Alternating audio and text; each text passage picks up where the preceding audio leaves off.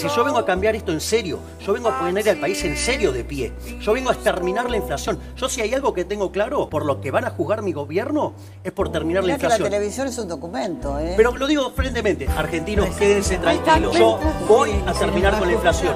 Soy el único que sabe cómo y tiene el coraje para hacerlo. que no hay alternativa posible al ajuste. Tampoco hay lugar a la discusión entre shock y el gradualismo.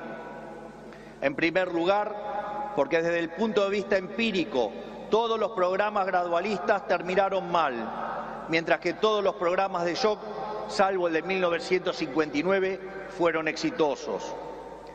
En segundo lugar, porque desde el punto de vista teórico, si un país carece de reputación, como lamentablemente es el caso de Argentina, los empresarios no invertirán hasta que vean el ajuste fiscal, haciendo que el mismo sea recesivo. En tercer lugar, y no por ello menos importante, para hacer gradualismo es necesario que haya financiamiento. Y lamentablemente,